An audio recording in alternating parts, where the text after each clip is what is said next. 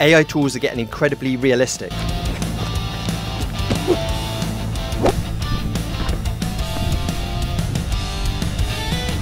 And Hailuo Zero 2, which just came out recently, is getting a lot of attention for how it handles body physics and prompt precision. But how does it compare to the cinematic realism of Veo 3? In this video, we're putting them both to the test with high speed flips, kicks, dives, and more. Let's see which AI handles the motion the best. I'm Barnabas from ACT AI Creator Tools. If you're here to create and not just to watch content, you're in the right place. Today it's Veo 3 versus Hailuo 2. We use the exact same prompts to push these models in the use of extreme motion, testing them with flips, kicks, and more. Apparently Hailuo 02 is great at following prompts and physics, whereas Veo 3 is great for creating voices and sound effects and cinematic looks in video. But how will they fare when it comes to the raw action prompts that we're going to put in today? Let's see. So here we are inside of Flow for Veo 3, and we're going to put in the text to video prompt. I'm going to make sure that it's set to just one output, and we're going to go for Veo 3 best quality with audio and create. So here we are in the Hailuo platform, and we're in the text to video part of Hailuo. And this is the new Hailuo 02 video model, and I'm just going to paste in the prompt there and just generate one image with a new 02 and at 1080p and just six seconds. So Veo 3 is finished already and the time it took me to copy and paste the prompts, which is a couple of minutes or less for both platforms, five prompts into Veo 3 and five prompts into Hailuo. VO3 had already finished the first prompt and now the second one is finished and the third one looks like it's about to finish now. So Hailuo's a little bit slower than Veo 3 in terms of prompt speed. So this is the first clip by Veo 3.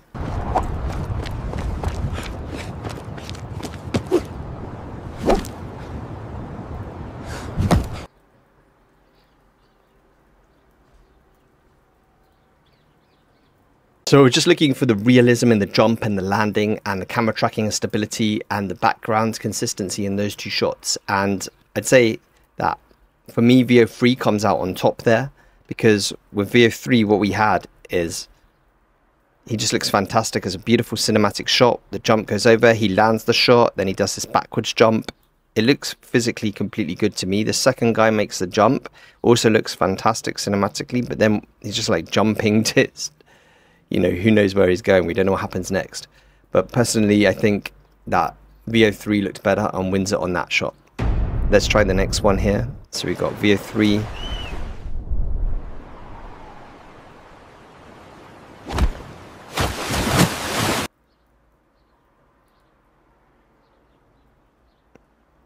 So on the Veo 3 shot, the splash happened before the guy even hit the water, so that was no good.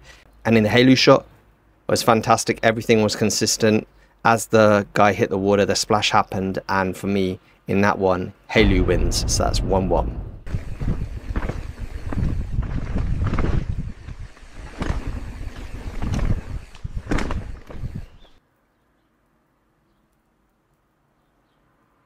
So in the bike shots there, they were both really good shots, and it was more of a follow shot on the Veo 3 shot here, which is fantastic. Whereas on the Hailuo shot, it was like a fix shot, which was good still as well, but not as exciting and dynamic as Veo 3. So they're both good shots, but for me, Veo 3 wins in that one as well. So it's 2 1 to Veo 3.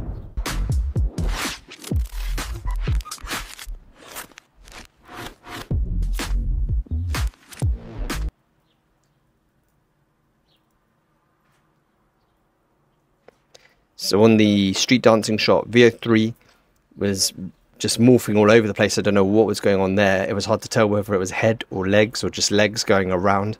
And then on the Hailuo model, there was, it was a good shot, but he was just spinning on a string, which wasn't really what I intended. I wanted him to be kind of doing like some kind of move where they do street dancing, but it was definitely the winner there.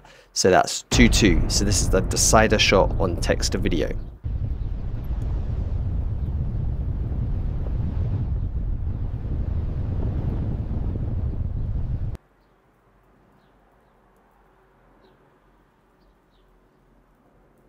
So on the final shot there with the wingsuit, the Veo 3, everything looked good. He was flying forwards. It looked fantastic. And The shot looked good on Hailuo as well, except for the fact that he was going down feet first instead of head first, which I've never seen a wingsuit man do that. I don't know if they can do that, but I don't think so. They normally go head first, so it's got to be given to Veo 3 on that one. And Hailuo didn't do a good job on that one in terms of making it so he's going head first like he should be.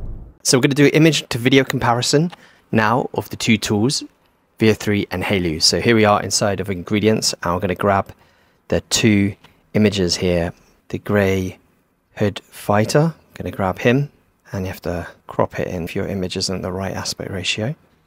So Veo 3 loses on the account of image to video because at the UK at the moment it won't allow you to upload realistic images of people to create image to video. Now we're going to do image to video inside of Hailuo and going to click to bring in the images that you saw at the beginning of this video which is the grey hooded fighter and I'm going to use this enhance button to help with enhancing the prompt.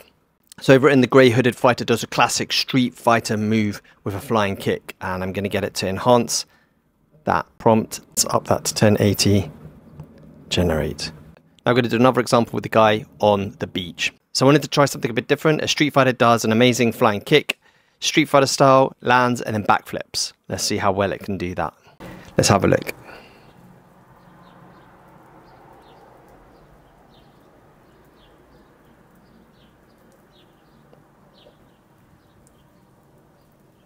And both of those shots look really fantastic to me.